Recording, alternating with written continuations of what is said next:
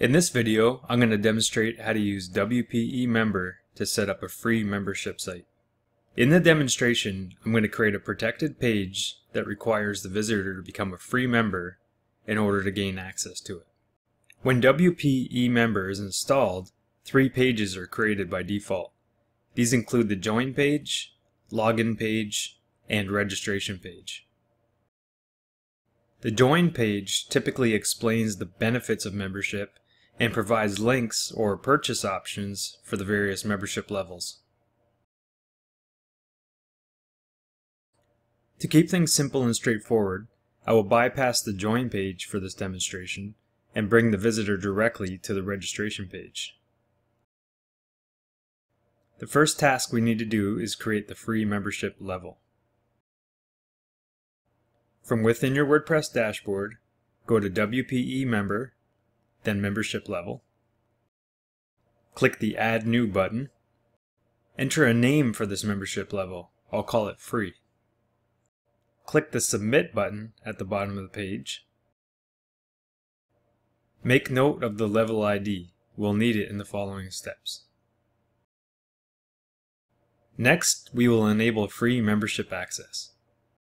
Click on Settings from the WP eMember menu on the left side in the General Settings section, click the checkbox to enable free memberships. In the next box, type in the ID that was created in the previous steps. Note that the ID in this demonstration may be different than the ID for the free membership level on your website. Optionally, you can choose that the visitors must confirm their email address before becoming a member. This setting will simply modify the registration form, making it a three-step process. The visitor will be prompted for their email address on the registration page. Then they'll need to click a link within their email, which will bring them back to the registration page, but this time with more fields to fill out. Now scroll to the bottom and click the Update Options button. Now, let's change the Join page so that it points to the registration page. Do this only if you do not want the interim step of pre-selling the visitor to join your free membership site.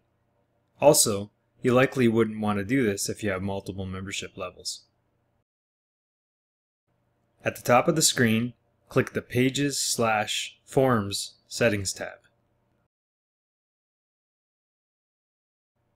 Near the top, you'll see the URLs for the three mandatory WP eMember pages. The URLs were added during the setup of WP eMember. The URLs to yours will not be exactly the same as the ones shown in the video.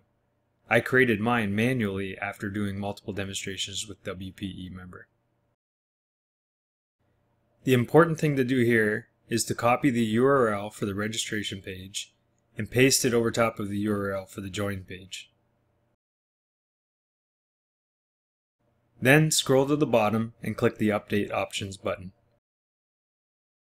Now, let's add the login and registration pages to a WordPress menu. To do so, go to Appearance, then Menus. The menu locations and name differ depending on the theme being used on your site. The procedure to add pages to the menu is the same. You just may have to switch the menu before editing it or you may need to create a new menu and attach it to a location defined by your theme. As you can see on my screen, I am working with a previously created menu called Main that is attached to the top menu location which was defined by the theme I'm using. This location seems to make the most sense for the pages I want to add. After choosing the menu you want to work with, Make sure the Pages panel is open on the left side of the screen. Put checks next to both Login and Registration and click the Add to Menu button.